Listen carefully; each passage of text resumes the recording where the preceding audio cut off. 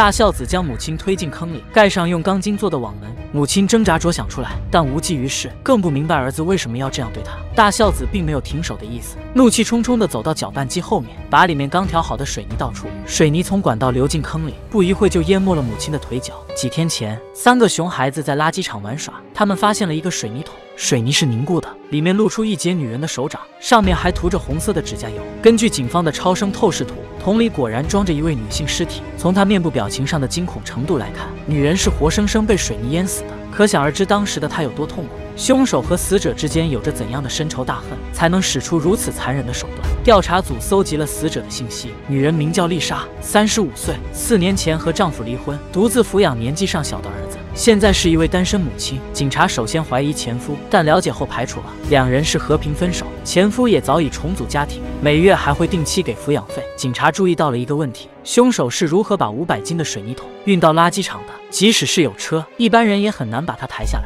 莫非是还有其他帮手？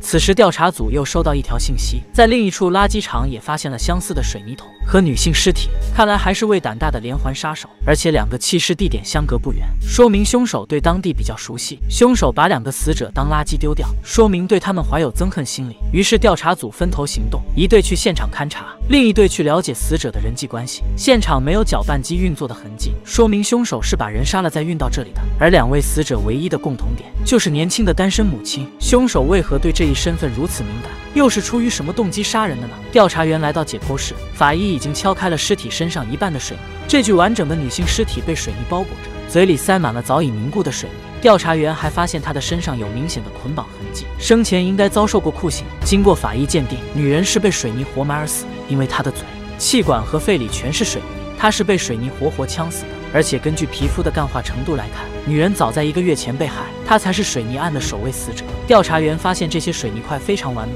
不仅粘性好，泥土。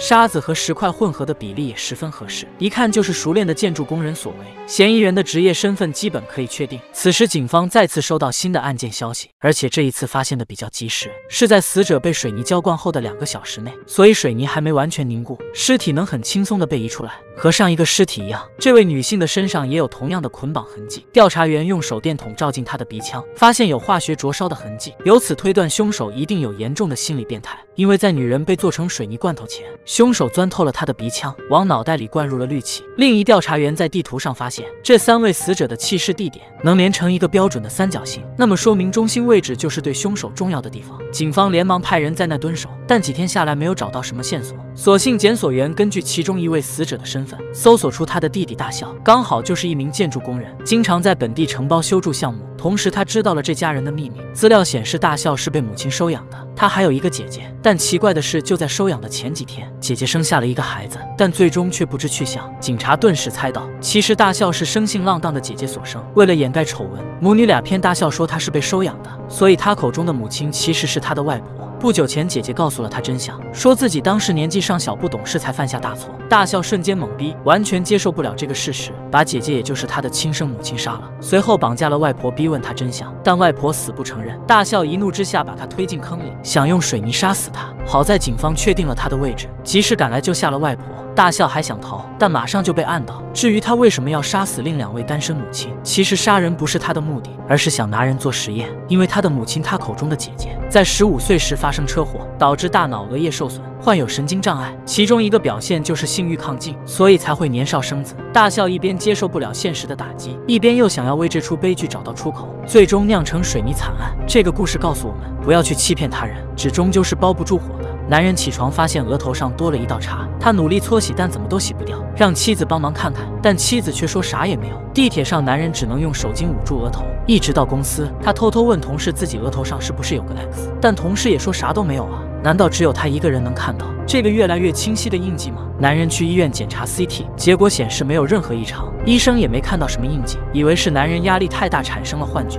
便给他开了点镇定药。没想到男人在回家的地铁上看到了一位额头上同样有叉的男子，两人眼神交汇间仿佛看到了知己，高兴的宛如认老乡。随后还一起去小酌了一杯。格子男说自己的父亲也曾看到额头上的 X，不久后就因为意外死了。所以这个 X 很可能是死亡的征兆。第二天，男人在电视新闻上看到几小时前死去的作家生前额头上也出现了 X。这进一步证明了格子男的说法。男人想打电话给他，结果却得知他几天前去世了的消息。男人越来越害怕，感觉自己也将命不久矣。没想到还来不及悲伤，就在地铁上看到对面女人头上也出现了 X。男人大吃一惊，不料他旁边的女人也有印记。男人赶紧环顾一周，结果整辆车上的人都出现了死亡的征兆。男人疑惑又震惊，这代表这辆车上的人都会死，恐怕是地铁即将发生重大事故。男人站起身劝大家都下车，说有危险，但没有一个人相信他的话。看来他们是看不到印记的。男人只好悻悻地下了车，他想找保安求助，结果看到保安脑门上也有印记。再次环顾四周，男人彻底惊了，地铁里的每个人都有征兆，难道是整个地铁都将毁灭？